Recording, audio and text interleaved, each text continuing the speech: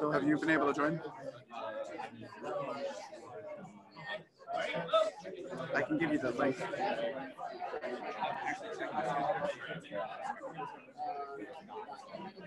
Okay, so it is. Why can't I scroll? Scroll. Here it is. Meeting ID 241 661 53. Sorry.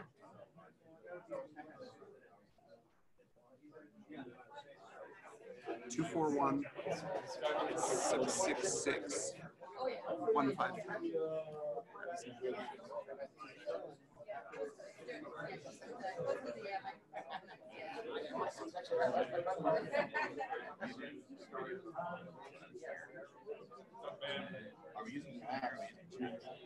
Uh, why don't you watch both?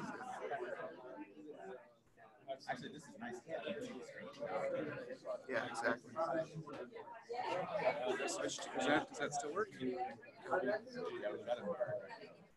Uh, you might want to plug that one back in. Oh, yeah. Probably helps. Do you like the massive like dongle connectivity of Doom we've got here? yeah.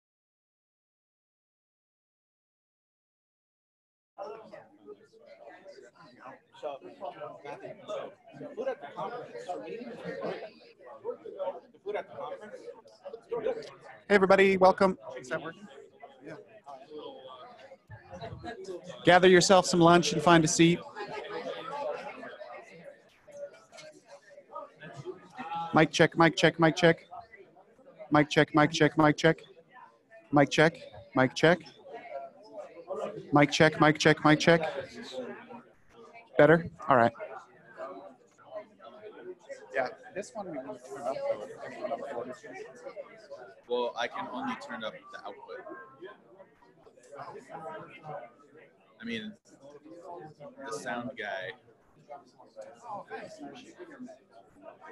meet you.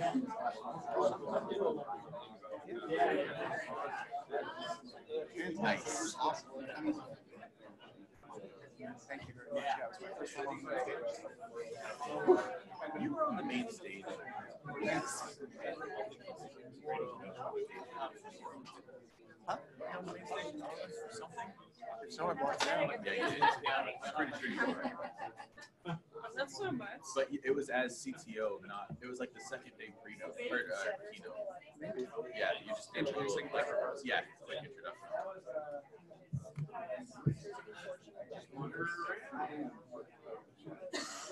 I mean, do you? Uh, Hey, way over there. Well, you were do you there want me with. to try to We can, we out? can pass. far away.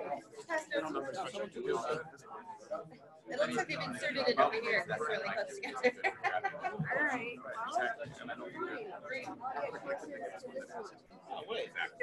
Whatever, whatever. I can just sit here about I've, um,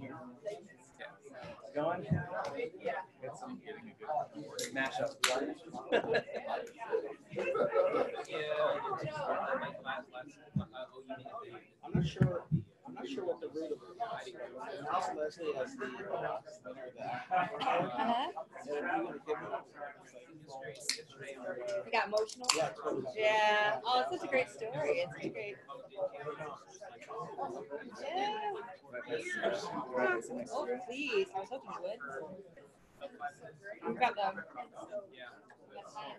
It's super weird to stand up here Oh, sit- really? sit at the table. Sorry. Why were you spending a lot of money? So I've got the recording on. That, that, that wasn't, no? It works. Like right Yeah, yeah, no. I'm glad for You can't do that initiative, there's no money. There's enough seats there. I think it's- it's- Your initiative is more revenue generation. that. Great idea. You look nice today. Wait,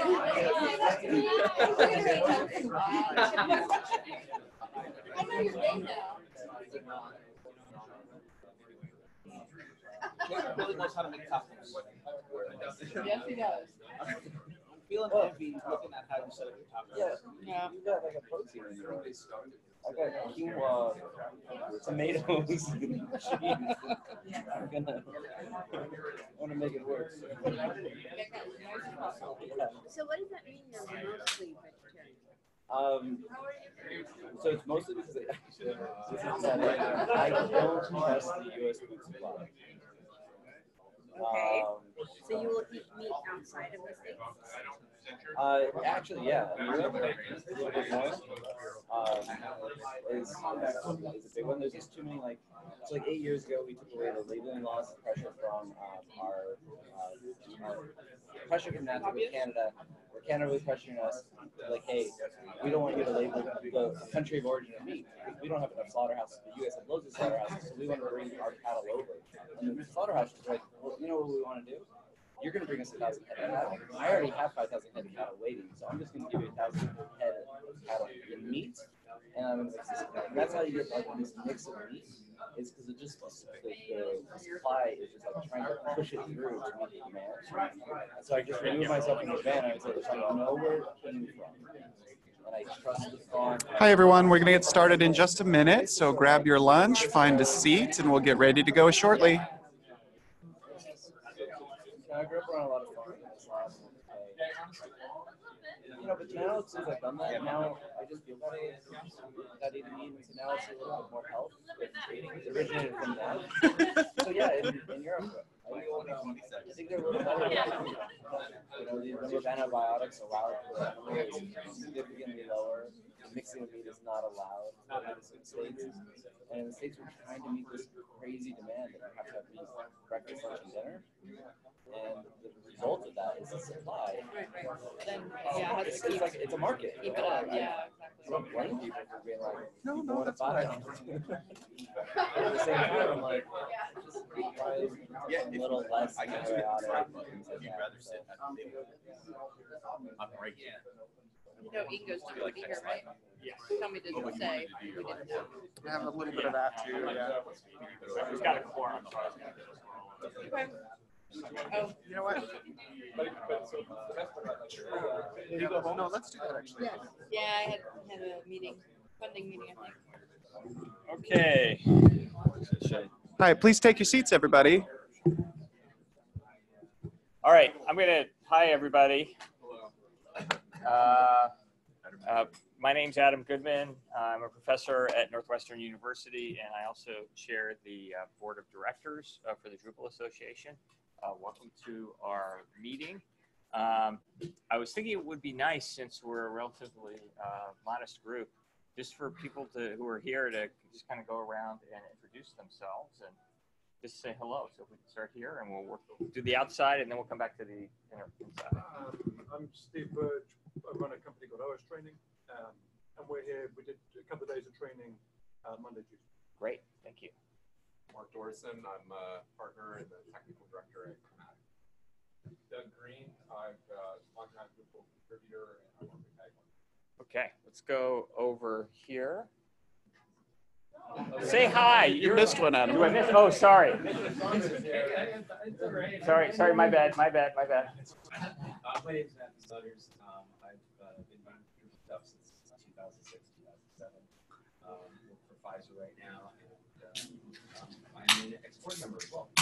Okay, so you can have Michael Lamb's vote since he's not here. Going around. I've been Drupal zealot for 12 years, open to opportunities. Okay. I'm Fadari Banana from 6 7. Yeah, we work for the design of the Drupal community and. Thank you. What is Drupal association in general? Thank you. It does look great. Yeah. George DeMet, uh, from Palantir.net, chair of the uh, community. group. Uh, Owen Maris, from previous guests, uh, the last one from staff. Mike Drupal developer, trainer. Krista Brenner is principal for last work.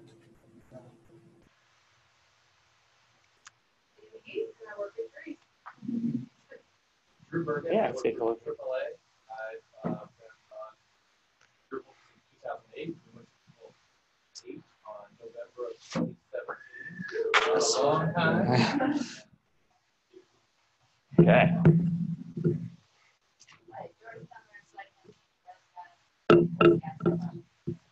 That's great.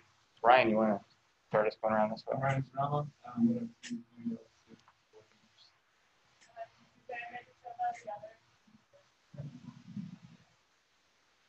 you know,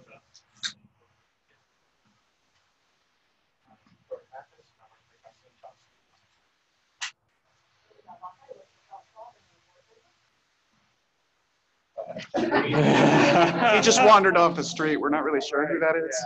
Um, My name's Susan. I'm Director of Operations for Drupal Association. yeah, I'm Tim Lennon. I'm the interim executive director for the DA. We'll go back this way.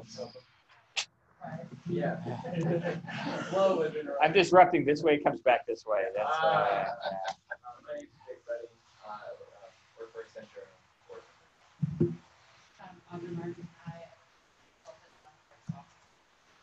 Um, ja, nee, Sonja Olesen Begrijder, um, a board member, uh, you are represented this, also known as Papi. I was gonna say, you said that, and it sounded like one very long name. There, there are definite stops in there, definite stops in there somewhere, and I'm certain that we have an agenda here somewhere. We do. So we're going to go through some updates uh, from the Drupal Association Board Retreat that we had on the weekend prior um, to DrupalCon. Uh, talk, a, talk a little bit about that, what the various committees have done. Um, I'm going to talk about some additions to the DA staff, um, give a general sort of operational update about what's been going on at the association, um, what we've learned from DrupalCon and what we're planning to carry through to the next coming DrupalCons. Um, talk about a couple of our programs, some of which I mentioned in the introduction to the Driesnote this morning. So that's a little bit of a repeat. I apologize. Um, and yeah, we'll go from there. So um, I think, though, there's some order of business for the board itself related to our minutes. Um, I need a uh, motion to approve the minutes from the February 14th, 2019 meeting. We approve the minutes from the February fourteenth, two thousand nineteen. Okay, any discussion? All those in favor? Aye, all right, motion passes. I think my job here is actually done now. So, yeah, Awesome. So some updates from the tre- retreat. Um, so, so we had uh, various committees report out from the from the board. There are a number of committees that track the kind of uh, health and well-being of different aspects of the Drupal Association. Um, so the finance committee met. Um, they've been following the progress of this year's DrupalCon, reviewing uh, reviewing our financial plan for 2019 and our voluntary audit, which was at the beginning of this year. Um, if the finance committee has any comments or things they'd like to add. um, Yes, I waited exactly until you took a huge bite. Timed it perfectly as I just. Take your time, don't rush, don't rush. Yeah, no pressure. Now I've got like quinoa everywhere.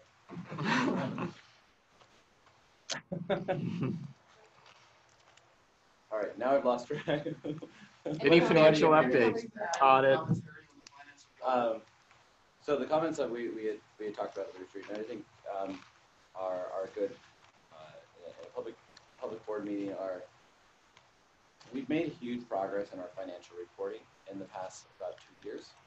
Um, and part of that was around how do we report, um, some of our fiscal sponsorships with what we did with camps, where we received money on behalf of camps and held that in our, our bank accounts. Now that that's sort of dwindling, but it was very, a little difficult about two years ago to really un, unwind this in a, in a visual way or a very simple, easy way to digest. Um, so we had met this, this, this weekend and we're very pleased on all the iterations we've done on our financial reporting uh, are really now representing in an easy to digest way for both the board consumption and public consumption of where we stand as an organization, which is very solid. Uh, uh, the other is we want to just commend the staff because uh, we did just go through a voluntary audit that went very well. So we had um, some folks come in and they did quite well. So just all around, very good things. Uh, no one recommend the staff for doing that. Um, uh, Tim for taking up the helm and in a, in a very sort of like, oh, here's a change way. Andrew for coming on um, and really just you know hitting the ground running, uh, doing some really great things. So we've been very impressed. Uh, we're just happy to announce and, and, and public about it that you know we're on good financial ground. Our financial reporting is done very well, and uh, you know, we have things to prove. it. Anything to add? I agree, agree, yeah. We're really pleased with the progress. That's really good. Awesome. On to the next committee. Um, sorry. um, the governance committee uh, met as well um, and during the board retreat talked about a few things. Reviewing our progress against the governance task force recommendations that were published last year. Um, that was a, a significant effort on the part of various members of the community to suggest some things that might change in the community and uh, with respect to governance. Um, and here at the con, they're uh, engaged in an effort to update the issues that have been opened then to talk about the various ways that we've made some progress in those areas. And then we also reviewed other governance uh, initiatives like the uh, effort to organize uh, local association leaders. So I don't know um, if perhaps Suzanne or Vishal might want to speak on any of these topics. So the governance committee, what we talked about was more around how to get a consistent branding across the globe in terms of providing more in line with what PA is thinking and then take it to all the different geographies uh, which are wanting to do Drupal camps or uh, DrupalCon, those kind of things. So that was one of the initiatives that we were trying to work around. It was more in regards to how to provide the consistency. So uh, again, how to bring the community together, how to kind of make sure that there is a sense of involvement and the engagement. So I guess we made a progress in terms of uh, trying to put up some kind of a branding guide, so to speak, uh, to, to take this governance ahead to multiple geographies. And another outcome of the um, task force um, has been a proposal to have a closer collaboration between uh, local event organizers and associations to provide some better uh, ability to uh, promote local events and, and coordinate the efforts of local. Awesome. Thank you very much. Uh, I just, I just want to quickly, add, I know Dries has thanked the uh, folks who worked on the governance task force, you know, that, that you put together. And I just wanted to thank um, uh, Adam and the other folks who just put in an extraordinary amount of time, gave us a lot of great ideas. And uh, Tim has responded at, at some length in terms of a blog post on that.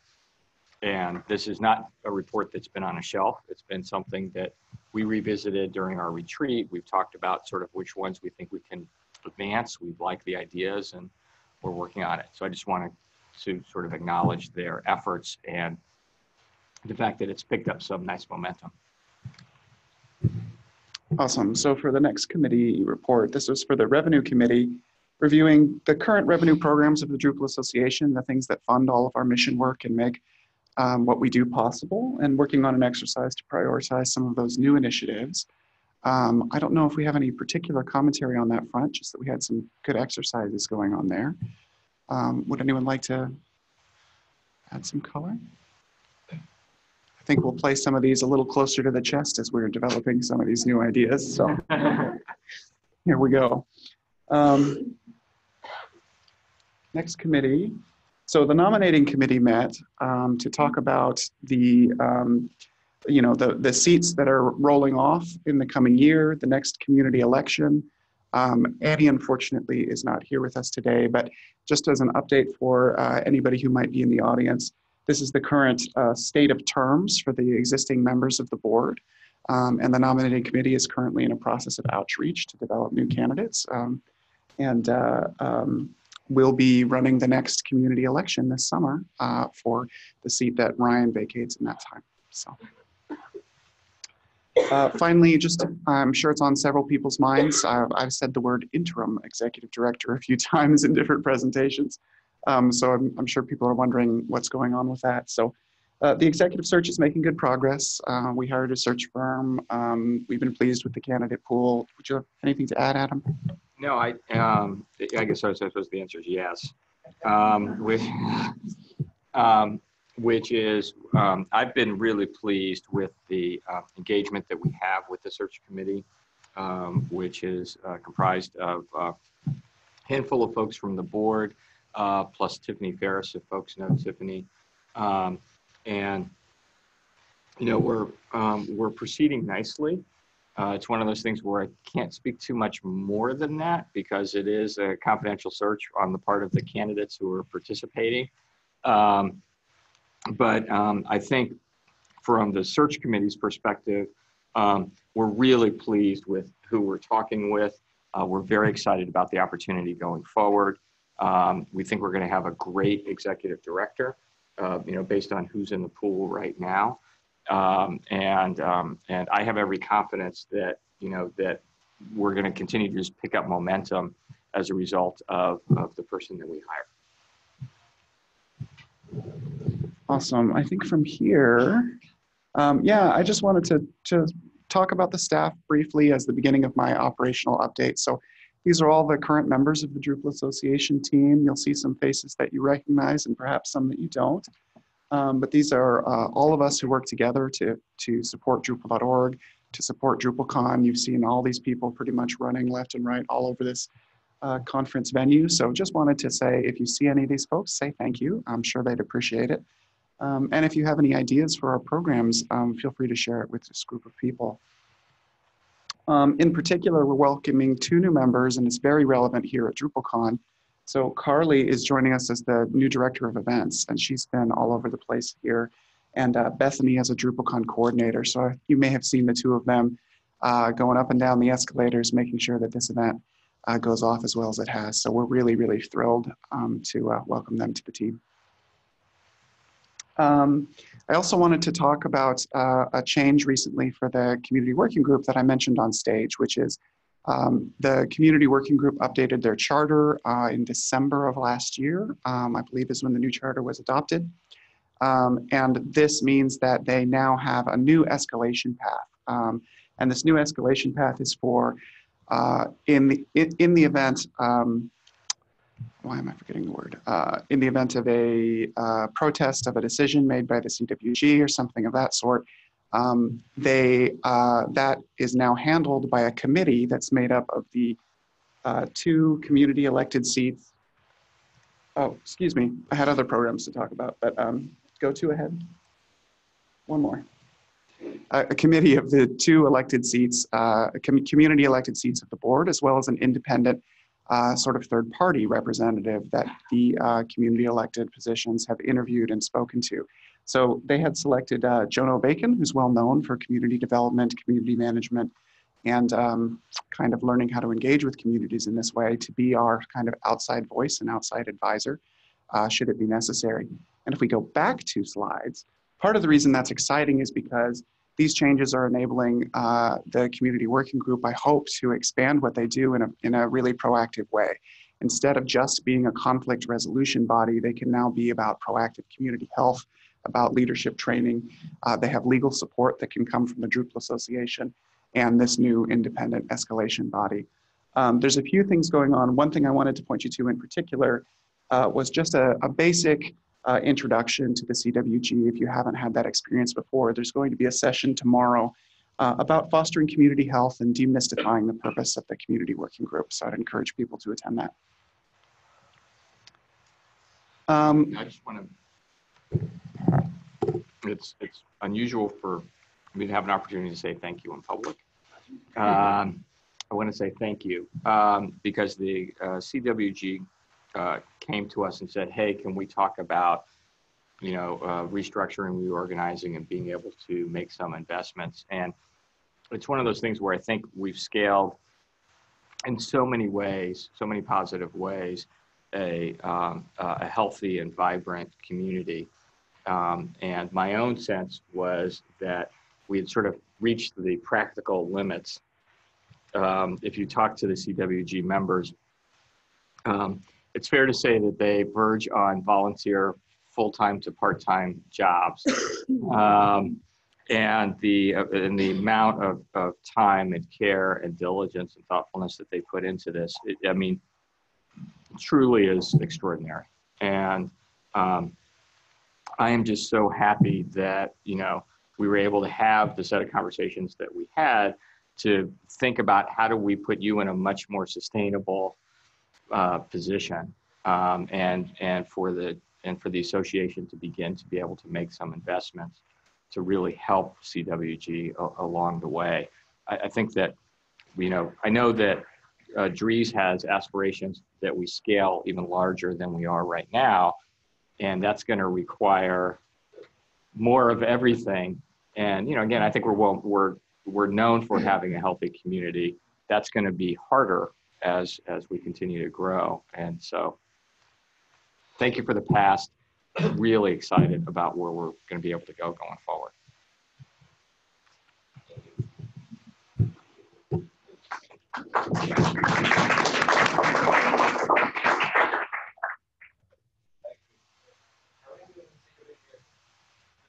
Two of them.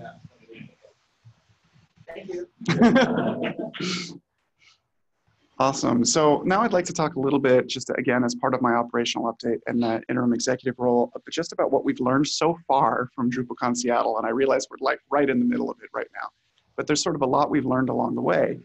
Um, so what did we change coming into this event? Obviously, as you've, you've all seen, there's been a lot of changes kind of coming through here.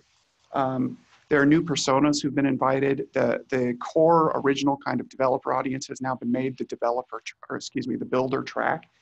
Um, we've added an agency leadership track. We've added a content and digital marketing track, and we hosted an executive summit for those decision makers at the end user organizations who choose, do we make our bet on Drupal? Um, and this has all been really successful. Um, we did make adjustments to attendee pricing and for supporter versus non-supporter rates. Um, these were all experiments. We adjusted our sponsor pricing. We added pre-selected featured speakers, and we began our ticket sales much earlier. Now, a lot of these pricing changes, which I know have been somewhat controversial, really enabled us to do some amazing mission work. Like it's directly correlated with our ability to double the grants and sponsorships and the speaker inclusion fund. So it's extremely helpful in that way. Um, if we go on to the next slide. So what did we learn uh, from, the, from all of those changes? DrupalCon Seattle is tracking to have the highest attendance in DrupalCon history. We are, we will be announcing a final number on Thursday, so we'll see for sure if we hit that goal. But um, it's really very exciting, and we're really thrilled that these changes had the positive impact that they did. Um, our audience has grown in all of those ways that I spoke about earlier. Um, and we have these increasingly diverse thought leaders in the community. Um, you know, 50% of our speakers coming from underrepresented groups, many of those being first-time speakers here at the con. We're really excited about that. I won't dwell on that too much since we talked about it this morning. And then this is the demographic data from the 13,000 Drupal.org users who offered to, who, who opted in to provide it. It's an optional field on Drupal.org profiles but this tells us a little bit about uh, representation based on a sample of those people who participated. That's something we'll continue to track so that we can learn more about our community as we move forward. So what's next? Obviously, DrupalCon Amsterdam is going to be the next big event, and we're really thrilled that it's it's back, uh, coming soon. Um, it'll be October 28th to 30th uh, in 2019. Um, and in fact, the call for papers is going to open this week. Registration for Amsterdam will open this week. Um, and we're promoting it at the booth. There's some stickers. There's a selfie banner where you can say, I'm going to be in Seattle, all that kind of thing. And we'll be making further announcements about the launch of uh, Amsterdam activities in the closing session. So, um, DrupalCon Minneapolis is going to be the next North American event. And we want to talk about kind of what we're carrying forward based our, on our experience here in Seattle. So absolutely, this uh, experiment of bringing these new personas in completely paid off. Like these are audiences who are part of the Drupal community, have always been part of the Drupal community, but did not get recognized in their own tracks, in their own places to have content. and it's just been wildly successful. In particular, the content and digital marketing track, which sold out more than a month in advance, um, uh, we're going to significantly expand going into Minneapolis. Uh, we want to continue early ticket sales. It's good for uh, the community to have more time to plan and get budget approvals. It's good for us because it levels out our cash flow. Um, we did early uh, featured speaker selection, and I think that was very helpful. It was nice creating some energy, and I saw a lot of that early on before we would normally be able to publish our full, full schedule. Um, and of course, we want to continue to increase our grants and scholarships as much as we can, uh, capitalizing on these changes to bring people who might not, not otherwise be able to attend. Um, so will we be changing anything in particular? Um, we may also try and economize a little bit. Um, you know, you've seen we're kind of scattered in a bunch of different places. There's a few ways that we might be able to bring some of these tracks slightly closer together and also have more cross-pollination. Uh, we talked about expanding the program. We might also experiment a little bit with targeting some of our pricing, maybe pr providing more support specifically for small nonprofits, things we couldn't do before because we operated on such thin margins. Um, quick update on Promote Drupal. I'm going to go through it very fast because it was in the introduction to the Driesnote this morning, so most of you have seen it. We produced this video, which is going to be released. Um, go ahead and proceed and skip through. Yeah, so we produced a video which is going to be available Creative Commons licensed along with the like files that we use to actually build it. So if someone wants to localize the video, do a track in their own local language um, and reproduce it that way, that's going to be possible as well. Uh, we talked about the brand book, which was kind of the first step. That actually happened quite a while ago, but um, continues to be the um, just the basis for ensuring that these international efforts for promoting Drupal have a unified look and feel. Um, in addition to that, um, come on, B oh, I thought you wanted to watch it. Sorry, no, no. Uh, the pitch deck that was put together largely by uh, the Promote Drupal volunteers. Um, Suzanne was involved in coordinating a large amount of this work, but Paul Johnson, many other people, a number of organizations uh, contributed to this. And similarly, um, it's a really powerful tool that I think will um, just, just help people get the word out about uh, what we're doing. again, I talked about a new case study format that will hopefully go live following the, the conference. We'll just skip quickly through that, but it's, uh, and then uh, I mentioned the GitLab migration this morning. This is something that we're hugely excited about. Um, and coming soon, the sort of next steps are um, enabling merge requests. Um, the GitLab team is here at DrupalCon. They're releasing a feature with their end of April release that uh, will help enable us to do this. Um, so once that release comes out and we have some time to do the UX design around that, feature. Um, that'll be coming soon. So we're really, really excited. Um, let's keep going here. Yeah, so phase one is complete. Phase two, just for reference, and phase three even, um, these are not gonna be these big monolithic productions where we have to wait like 12 months, 18 months before we can release a all the usable features all at once. From here on out, it's actually about incremental feature releases. So merge requests released as soon as we can enable them, CI pipelines when we can enable them, other integrations when we can enable them. Um, um, so the other thing that we're doing and go, hopefully going to launch soon is a little bit of a redesign of the Try Drupal program. So I thought I would give just a quick sneak preview.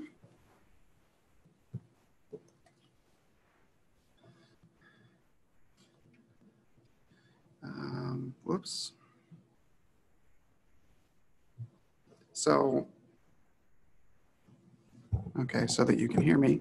So uh, the Try Drupal program has actually been a really successful program at the Drupal Association just because there were, have been a lot of evaluators who do not know what a tarball is, for example, and need to have a different kind of uh, demo experience in order to learn what Drupal is.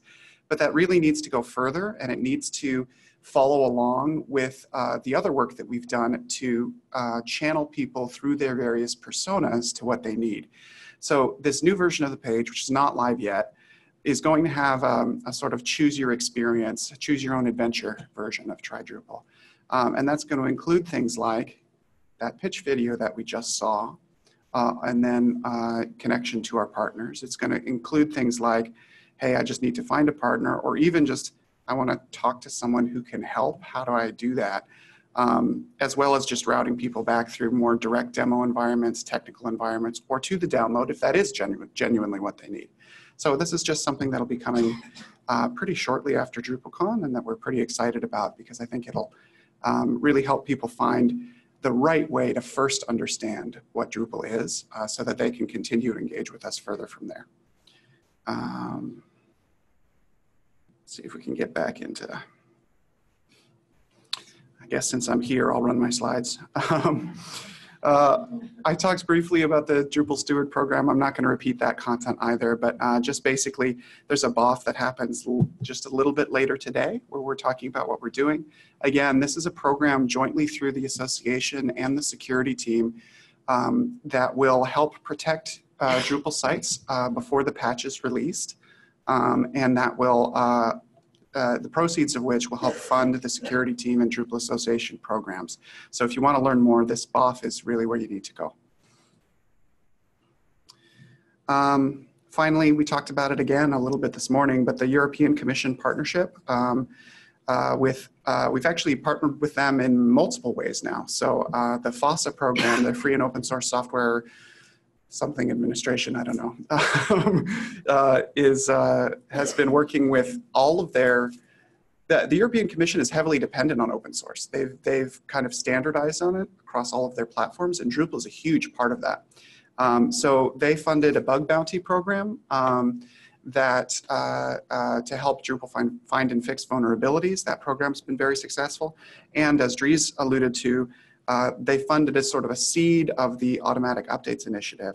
So there's some limitations to what they're funding, which means we do still need contributors. They need things that are, the way this program works, it's deliverables in this calendar year. Um, they need backports to D7 because they're still in a D7 world. Um, but we've made some good progress so far. We've already uh, designed an updated Drupal.org API to get the PSA and security information and display that information and we're beginning to design the pre-flight checklist that will help sites know, am I eligible for an upgrade or have I customized something that might cause that to break my site? And there's some more opportunities for partnership with the European Commission. Um, they're considering adding a third sponsored hackathon this year, and there's a chance it might be Drupal. Um, so uh, we're hopeful that that's a, the decision that they'll make. And the whole FOSSA program, this whole open source funding program that they have, um, is up to either be renewed for another trial year by the European Commission or become a permanent annual program uh, of the EU. Um, and if that happens, there's a very good chance that Drupal will be a consistent partner um, since so much of what they do is done on Drupal. So we're very excited about that, uh, that possibility. Um, so from here, I want to give the board an opportunity to ask questions and then we'll open up to the audience if they have a few as well. Also, please use a microphone for the sake of the recording. Yeah, and um, if anybody is going to ask questions, there's a microphone here next to the projector and one here at the table for folks.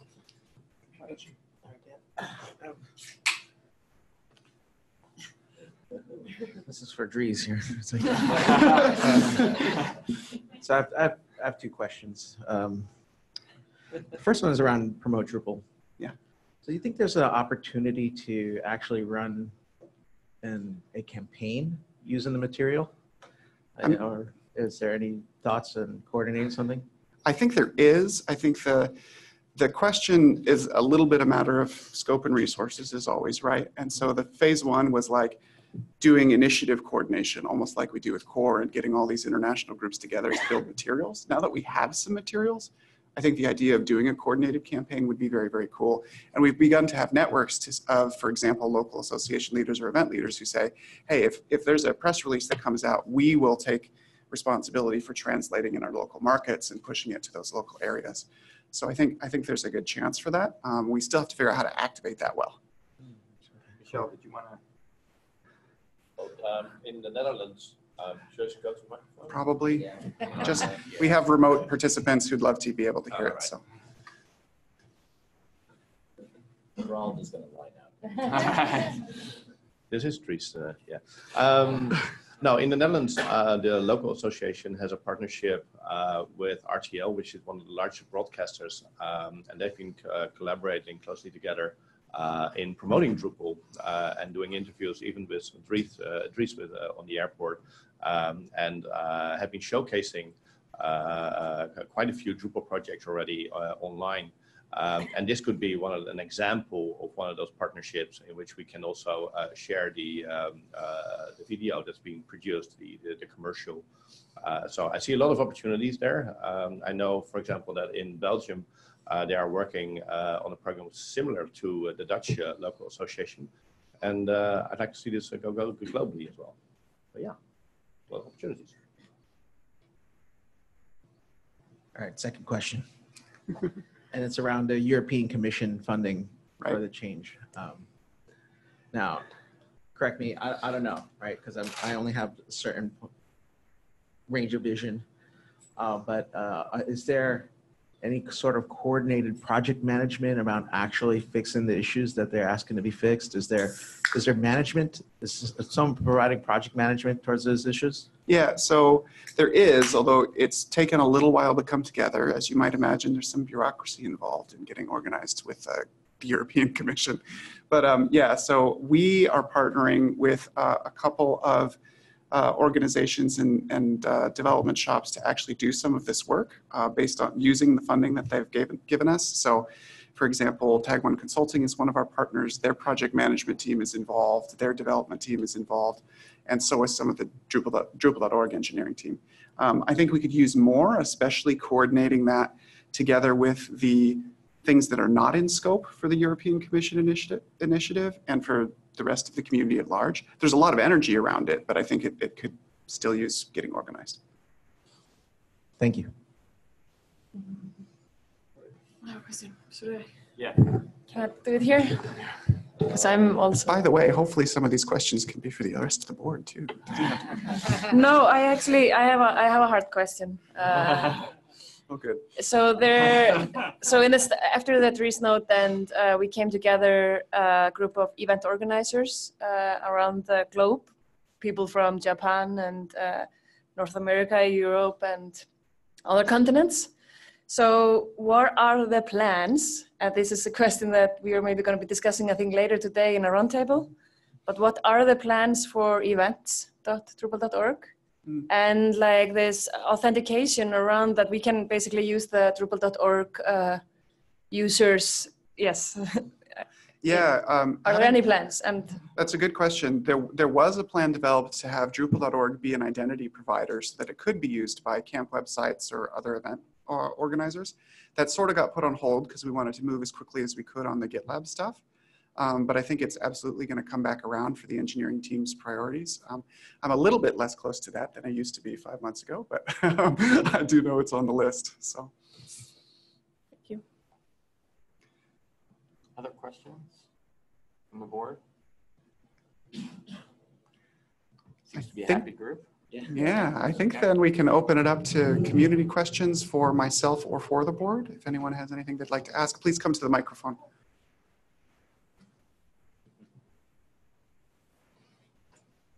Uh, I had a couple of questions. Uh, one is, uh, how are we as uh, a formal organization helping local communities grow and expand systematically and consistently, right?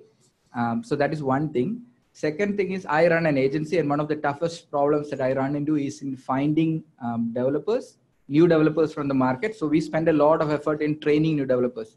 How are we as a community trying to expand and reach out and bring new developers. So are we doing something formally, structurally uh, around these two uh, activities? Thank you. I know these two topics were a big hot topic at the yeah. board meeting last weekend, actually. Does anybody want to try and take the?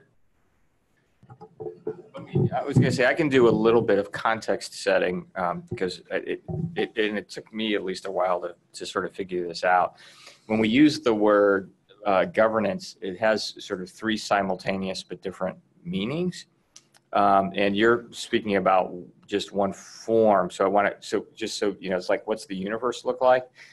And uh, what's occurred to me, and by the way, I haven't road tested this with anybody, so you'll see the board say he doesn't know what the hell he's talking about in just a second. Um, but there's, but there's sort of one governance mechanism if you think about Drupal, the project, right? So it's sort of how does CWG the Drupal Association, the technical aspects of the project, right? How do those pieces all sort of get governed at a project level? Then there seems to be another governance question, which is if you just look at the Drupal Association, right? So we've got this board of directors, but we do a variety of things that are related to helping accelerate Drupal. And we're also sort of global in some ways. So it's like, how do you govern just the Drupal Association?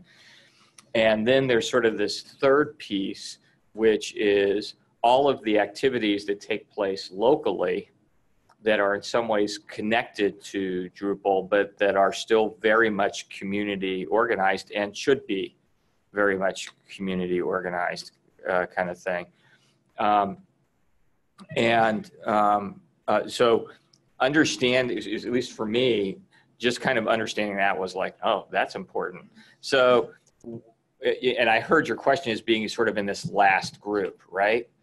Um, and, you know, I know that on the Drupal Association side of this, not necessarily speaking at the project level, at least the first part of your question, you know, I think our ability to provide, you know, sort of resources and support and some structure and that kind of thing um, has been historically very limited. And when we talk about, you know, sort of other opportunities to increase revenue for the Drupal Association, it turns out that in order to do anything, we need money, I've discovered, um, and people as well, sort of thing, who expect to be paid. I, I don't know why that would be, but here we are. Uh, and it, and it, we've also gotten obviously this great volunteer base as well, but they still need some sort of structuring and coordination and support in order to be really effectful, effective and really impactful volunteers. Um, so one of my goals is that um, is that we not it's not about growing the association to have a bigger association. It's about growing revenue so that we can make investments in exactly the kinds of areas that you're talking about so that you know one you know sort of country association that needs you know maybe some support and some assistance and maybe coordination with other country associations can start to can, can can start to get a little bit of i mean right now we're just not in a position right? So to, to be able to do even anything would be would be useful beyond sort of informal networking and supporting where and and, and supporting where we can so, uh, you know, certainly from my perspective, there's an absolute desire to really facilitate and enrich. And on the training side, I feel just as strongly. I mean, you don't have to talk to very many, for example, agency owners to discover, or people who are in, you know, sort of larger organizations that finding Drupal developers can be a little hard in various parts of the world. And, you know, that there's a lot of demand there, which is great on the one hand, but on the other hand, it would be good if we could help on the on, the on the supply side of that. Um, so you know, again, how that training takes place and how we help energize that is, to, is at least from my perspective, very important. I, and I'd be curious to hear what other board members are kind of thinking and tell me also what I got wrong. I mean, I don't have that much to add, to be honest. Um, but I do think these are two topics that are top of mind for us as a board. We have talked about them, um, and we've talked about them uh, often too in the past. So, um, as Adam said, it's a matter of resources uh, and being able to focus on these initiatives. Um, at the same time, I would encourage, um, you know, uh, individuals or organizations in the community to lean into. Like one of the beautiful things about open source is that if you have the time and the resources, you can certainly create an initiative of your own and try to promote it. And we would be happy to help promote the initiative. But like, for example, on the topic of training more uh, Drupal developers, um, I don't know what, what's in existence today, but this is something that is probably very shareable, meaning uh, we could share best practices on how to do that, materials on how to do that, you know. And so by all means, if you have the time and, and the resources, don't hesitate to, to, you know, lead an initiative. I think that would be very welcome. Um, it doesn't have to be top down, it can be grassroots. I think that's one of our strengths.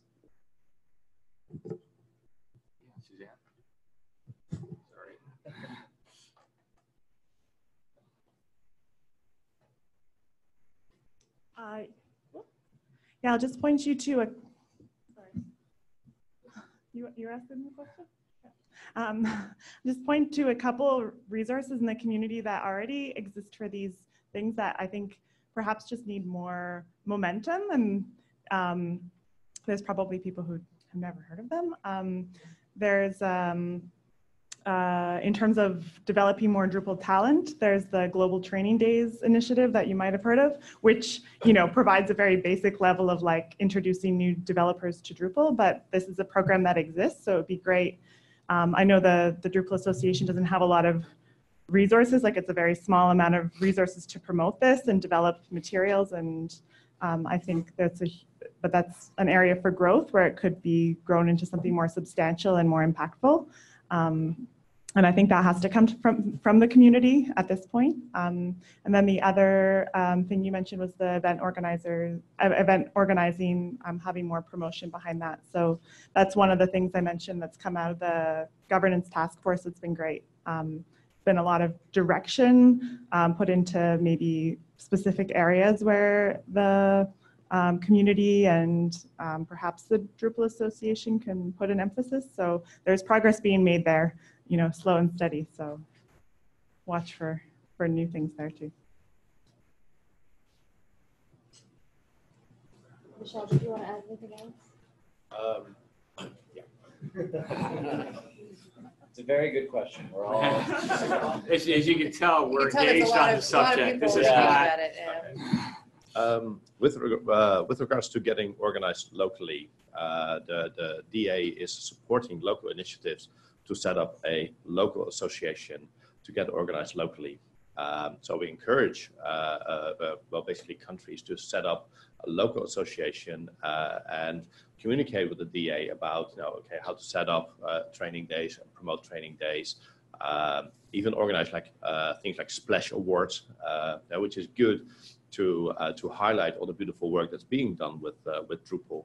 Um, so so yeah, we're looking uh, into uh, an organizational model currently. We've been discussing this, uh, and uh, we'll come back to you on that shortly. There are some great examples already.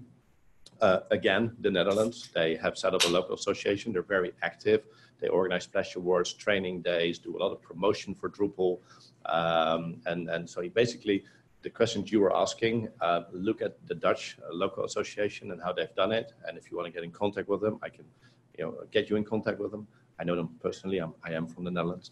So, um, so there's a, there's a lot of opportunities already out there. Um, uh, and, and yeah, we can guide you uh, in the right direction.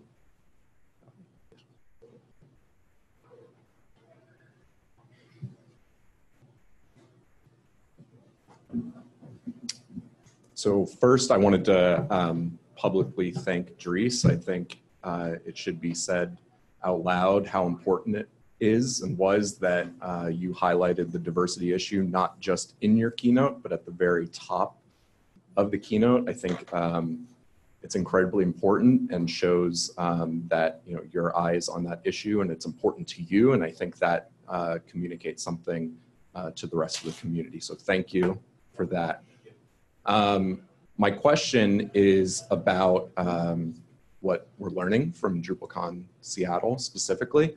Uh, I think it's obviously a lot of good news based on the expectations around uh, attendance um, and and a lot of the learnings that you highlighted and shared, understandably because of that, were good things. But I'm curious uh, what so far has been discussed as things that you might want to change um, or learnings that like things that could be done better given this new format um, for DrupalCons going forward? That's a really good question. And part of it, we're we're gonna, you know, we'll do the usual attendee survey and that sort of thing so that we can have more data to drive the decision, but just observationally from the first few days and from just the communication leading up to the event, there's, there's a few different things that I think we could do. So um, I, I very briefly touched on the notion of um, a little bit of more sort of targeted ticket pricing, perhaps, particularly around the nonprofit space, but maybe some other areas. And just a little bit more opportunity for that sort of a thing. Um, I think, as far as I understand it, our, our um, Monday, Tuesday content pretty much was all instantly sold out. And so we're going to need to, clearly it was great to have more training and more summit content, but we want more capacity so that people who get here on site have, have a place to go. So that's going to be something to address as well. Um, you know, I think there's a lot. There's definitely a lot of study to be done on, on how this kind of finishes out. Um, I don't know that I have a, a single key change that we'd really immediately make, but yeah, I'd be happy to talk with you about it more. Yeah, I would just add one specific piece of feedback from Sure, yeah. us on that is that as a uh, personally and part of a group that's been attending DrupalCon for a long time in its previous form and now moving to this new form, I think that the communication uh, and marketing around what is this new DrupalCon um, was could had room for improvement. Sure. Um, I think that even in hearing um, some people within the DA speak about what this new DrupalCon was in, in public venues, uh, there was a lacking of a, of a clear message. Um, and so that made us hard, it hard when people would come to us and ask, like, I felt like we should know the answer to this. We've been going to DrupalCon for a long time and it was a struggle for us to explain that to them. Sure. It's exciting to me to see that despite that, in some ways, it seems like it, this new vision is so successful. But I would uh, say that um, I guess I would caution us to assume that um, just because the numbers are up doesn't mean that there is even greater room for improvement on top of that with some tuning on that. Totally, I think that's absolutely true. And actually, the communication piece is, is a really good is a really good one and is on our minds. I think I think we can really learn from from this year on that front.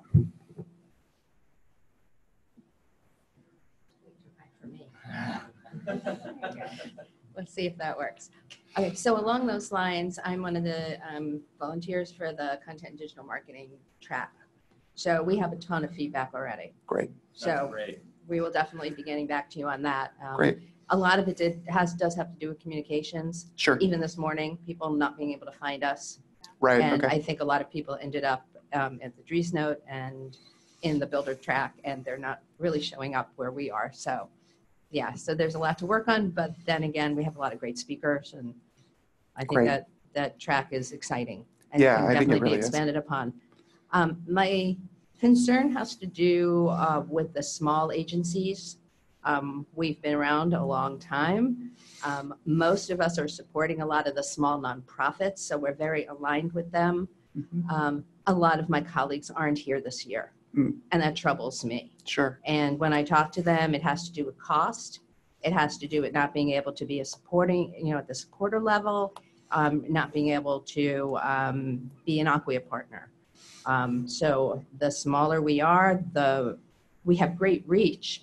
We're working like I am on the content and digital marketing track. I'm also Yep. an organizer for GovCon in DC every year. Um, I speak every year. We're great advocates. Right. Um, my, my company's been around for 15 years Yeah. doing Drupal. Yeah. And that's all we do is Drupal. So we're not like, oh yeah, we do a little of this other stuff, but maybe a little. Dru-" No, all we do is Drupal. So I would love to hear about um, other initiatives that you might have to bring the small agencies along, make them feel like they're more welcome, make it more affordable for us to be involved in DrupalCon and in other activities, you know, in the in the DA. Great. I mean, it's really good to hear. Um, and, and I think it's really important to us that you're here and that you will be able to be here and hopefully have more of your team here the next time. So, um, yeah, I don't know that we have the like an immediate thought. We're still learning from this week, like a- as we're in the middle of it. But I'd love to talk with you more. Yeah. yeah. It looks like my cat. Or Jeff. Yeah, sorry. Um, so, so if I could, I, so I would say the, the agency leadership track, uh, was designed in large part to bring along smaller agencies and make them sort of a part of what's going on. And I think, um, if, if the cost of that is, is high, I think that's good feedback. And I think that's something that the DA should be thinking about. But I think that the agency leadership track I was involved in organizing has a lot of specific content that I think would be helpful to agencies of all size so we can sort of share on that on that front. Um, However, not everyone wants to be over there talking in the echo chamber and not over here learning. So I would say it, it is a challenge to balance these things. Like to be there and here at the same time is hard. Uh, so maybe I'm I'm providing feedback, right, in the process of answering your question. Yeah, I but I think that is the intent of the agency leadership track, at least. I- I- Sorry, I just wanted to say like, um, that the small agencies are critically important to Drupal and that that is not lost on us, definitely not lost on me. And just look at the data, for example, um, most of the contributions to Drupal come from smaller agencies versus larger agencies. So it would be a huge mistake to leave the smaller agencies behind. Yeah, yeah, and we're great, and, and we're great evangelists. Um, as far as when I say colleagues aren't here, we all know each other. So it's not just who works in our agency, but we know all the other agencies around the. country. I mean, we've spent 15 years getting to know each other. And so there's a lot of people missing this year from my space. The mm-hmm. people I want to network with, the people I partner with, they're not here. So we definitely do need to think about how to how to get us back engaged. That grants and scholarships work is meant to help with. that It's as meant to do that. And, uh, you know, But it's not, yeah. I think the, yeah, the, the, the issue with the scholarship program is it's targeted specifically at individuals for the most part. And I think we need a comparable program for the sort of agency, small agency or small business kind of thing. Um, yeah, to go along with the nonprofit concept that we talked about Yes. before. I think And in it's- fact, then uh, we had a nonprofit call with the nonprofit community and, and some of the agencies. Yeah, and I joined one of those uh, um, uh, a month ago, maybe something Great. like that. Yeah. Yeah, so we're, it's definitely on our radar. We'd love to talk more about how we can make that happen. Fantastic. Thank you so Thank much. you. But I think the immediate next step here, the next step of action, sorry, I know. small person. Um, sorry.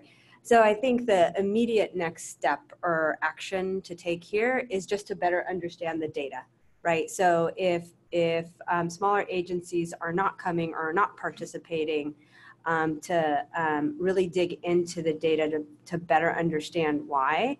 Um, it could be some of the things that we've discussed in this room, but I think we also need to be open to the possibility that it could be some other factor, and that by um, starting to you know to surmise what it could be, that we might be growing um, blinder to true root causes. So um, I think it's a fantastic um, uh, conversation that um, through really digging into the data um, will help us understand how to really fix it.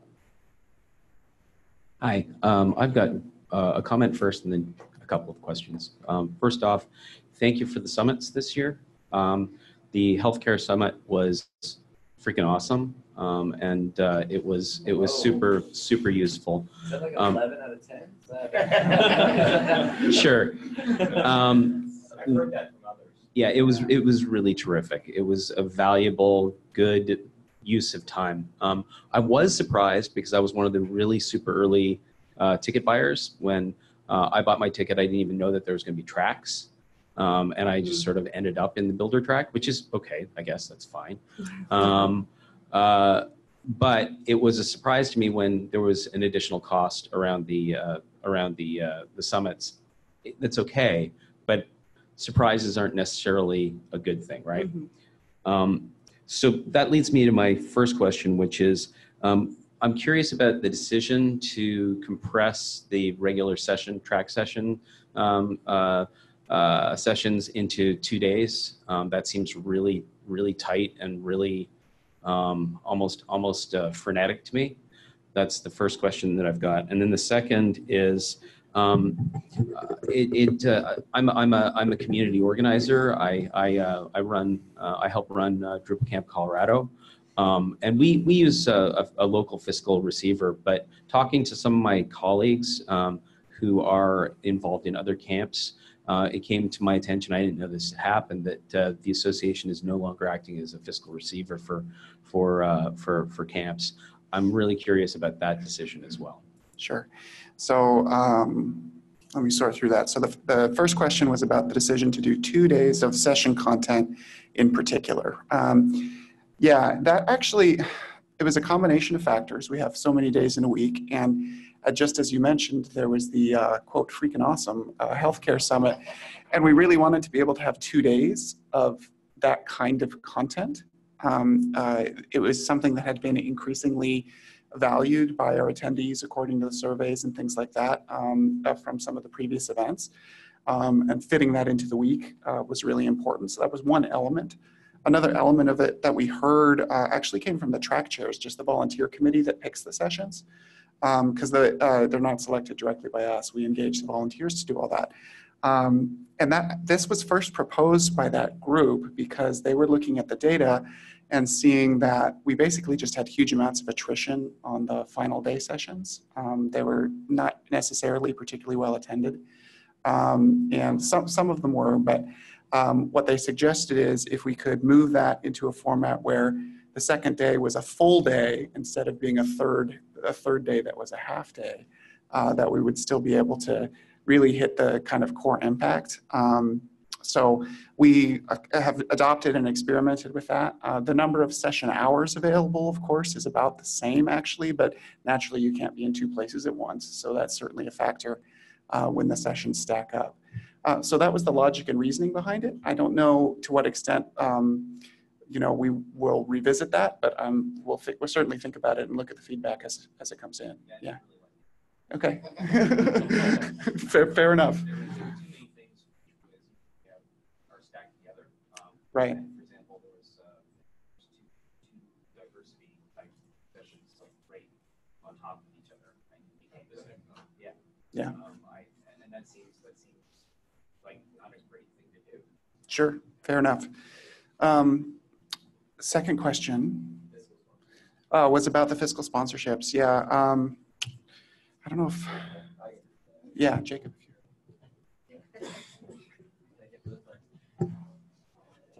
Um, so I, I can speak quite well to the fiscal sponsorship since um, for those who might know not know my background, I've been with the association for quite a long time. Um, and fiscal sponsorship was one of the things that I helped champion. It was it's one of these ideas because I was running Drupal Camp NYC and I was like, this is very painful and we need a fiscal sponsorship. And we have a 501c3. Uh, and we did. And, and the association ran it for a number of years. The long story short there is it's expensive uh, it's very complex to run, um, and it doesn't meet all the needs worldwide. Um, so several years ago, I think this decision was about three, three years ago, three, two and a half, three, somewhere in there. Um, the decision was made to wind it down, and part of that decision was not, oh, it's too complex, it's too expensive, we got to get rid of it. It was there's other things in the marketplace that take care of this it's become easier to start your own nonprofit. It's become easier to build your own association. So there's other things that that the camps can do to do it on their own, and they, and they really should. It empowers them. It gives them the, the controls. It gives them the reins. It gives them an actual literal debit card to take their own money out. Um, and there's there's resources. So there's some blog posts I know that are, that are put up. There's um, some people helping out there. So if there's a camp member that doesn't know about these, reach out and we'll get them in touch. But uh, basically it was a it was a good idea. It worked for a little while. Uh, it wasn't as we, we planned. It was a good experiment, and its time has come. You know, we got to experiment, iterate, and try the next thing. Does that answer? Yeah. Cool. Thanks. Topic change. Yeah. Um, so uh, uh, first off, thank thank you all members and the, bo- the body at large. Uh, you're probably getting a lot of comments and you hopefully have some real thick skin and I, I hope that you're being thanked more than you're being yelled at. Uh, don't, don't tell me which way that goes, but uh, I just hope it's the better thing. Um, so uh, my brothers and sisters here in Seattle um, in Local 15, the union, are taking good care of us and that's fantastic. I've talked to a couple. I myself am a journeyman Local 30 in Indianapolis. Uh, fun fact, IOTC.org, our union national, that's a Drupal site. I didn't have anything to do with it, sadly. But I still pay my dues. So, um, so I've worked a lot of conferences, I've attended a lot of conferences, and a lot of us have attended a lot of conferences, but I sat in the convention center in Indianapolis and attended so many conferences. Uh, Association of Bishops, uh, ACS, uh, American College of Sports Medicine, Salesforce, Exact Target, just big stuff. And uh, there was one common thread that I saw in, in predominantly almost all of these events. There was an element of frivolity and silliness, and now you know where I'm going with this. Um, so I am here, ladies and gentlemen, to represent the hashtag Why So Serious uh, subculture within our group in asking what happened to the pre-note. And I will give you, there are some super cringe-worthy, oh, kind of things that happen there. And some years have been better than others.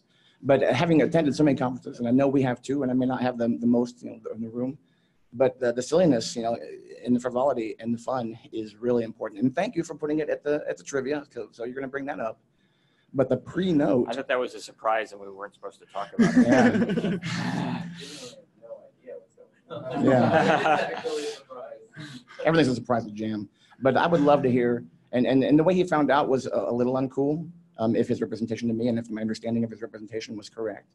But um, and, and the slides talked about things that have changed. Didn't mention the pre-notes, pre-notes gone. It mentioned things that are continuing on. Didn't mention the pre-notes. So, um, you know, I think we would like to hear a little bit of a story on that. And uh, you'll find us to be pretty level-headed, but we'd really like to hear it. Um, sure. I, um, I'll, I'll talk as much as I know about the early part of that conversation, because some of the people involved in the early level of that decision making are actually not at the DA anymore. But um, I understood the, the thrust of that decision, and I and I kind of agree with it. So I feel like I can speak to it. Um, part of it, uh, in this case, again, it was related to schedule compression and wanting to promote the Aaron Winborn Award and have that be present at the first keynote, which is always the most well-attended keynote. I think it brought a real powerful community feel and community message, not in the same way as the silliness of the pre-note, right? But in a way that I think is really true to who we are and to our values. Um, I think that the pre-note itself, like it's something that I've certainly enjoyed in the past. As you said, sometimes it's great, sometimes it misses the mark a little bit. Um, it's something we get feedback about. Um, as you were talking about board feedback before, it's both kinds um, uh, quite a bit. Um, and so we'd like to try this example at Trivia Night because I feel like it culturally fits a little bit better in that spot. Like it's still a, a core element of community activity. It's something that's like a lot of us rally around and go to and don't miss every time. And I think that might be a good place for it.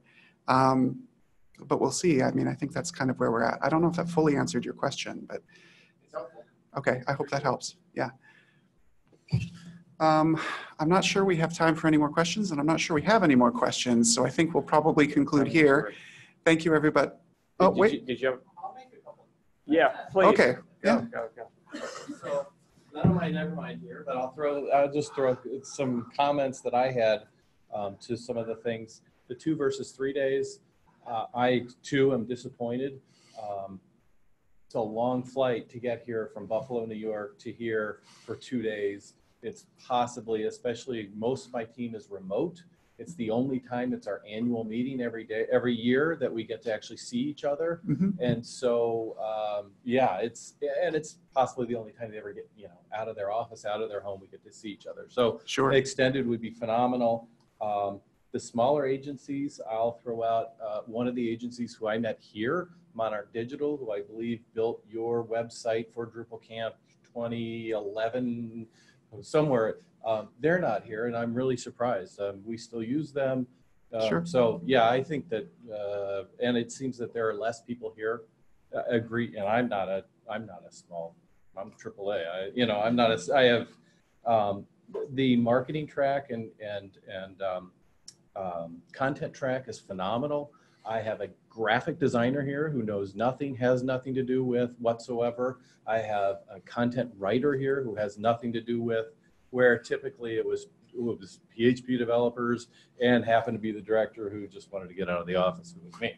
Um, but another, uh, so so on that, another track that I would like to recommend is, you know, like that the boss, like, why should my boss be here? The VP, the the the the CIO, my IT department, who is Microsoft all the way. Um, you know, they want to rebuild our our um, our uh, intranet with SharePoint. Eh, you know, Oh, yeah. how They can call me and I can tell do them not to do that. But, but I don't see those people here and I don't see any reason of programming for those people to be here. So how do I, you know, and everyone else of the uh, large organizations? I think, I think that's, uh, sorry, I don't know if you're No, yeah, you, well, you. I was just to address that particular point. We did have an executive summit all day yesterday that was specifically for business decision makers or I, IT department decision makers. It was very small. I believe it was a very, not that many people. I was invited to it uh, Yeah. a week prior. Yeah. Um, been coming here since 2011. Didn't know anything about it, but I still wouldn't say that that the remainder of the week is necessarily tailored. Like, what are they going to really stay here for for the rest of the week? Maybe the one day. Yeah, well, exactly. That uh, we experimented with this first uh, last October, and part of it was that a lot of them said, even if there was a full week, they'd probably only be able to fly in for Well, one day. Or, or, or valid, but Yeah. but then yeah, and, and so then that brings me right into the there is so much information. Um, so you asked about developer training. Um, your your like promotion of of Drupal, your new videos and whatnot. Like uh, as far as training developers, there are companies out there that have you know videos uh, how to learn and whatnot but like when our transition very early so from seven to eight uh, yeah drupal 7 to drupal 8 we didn't know what we needed to learn so like in your Driesnote earlier today i wrote uh, three times drupal seems to be um, committed to these and i wrote down Symfony composer and, and json api now going into Drupal 8 very, very early on, we didn't know what we were supposed to be using. So I would throw out that maybe um, I, I don't want you to compete and, and go against some of these companies that are in the business of training. But um, is it is there just too much information for me to try and sift through and my programmers to know what we should be learning, what's coming up next, what is changing, uh, or does Drupal Association need to be printing out, you know, a, a list of, you know, hey guys, we're moving from X to Y, and you really need to brush up on that. Yeah, and, and I think it's a combination of the two, somewhere in between. But yeah, thank you. That was a great Thank you. list. Thank you. Awesome. Okay, I think we need a motion to adjourn. Does that sound? Okay. Mr. Chairman, I make a motion to adjourn. right, there a second? All right, I'll approve. All right. Thank you all very, very much. We appreciate, you know, your, your time, commitment, and passion around all things Drupal. And uh, we're going to keep moving along. Uh, enjoy the rest of the conference, and we hope to see you all in Amsterdam. Come, it's a lovely place. Thank you, everyone.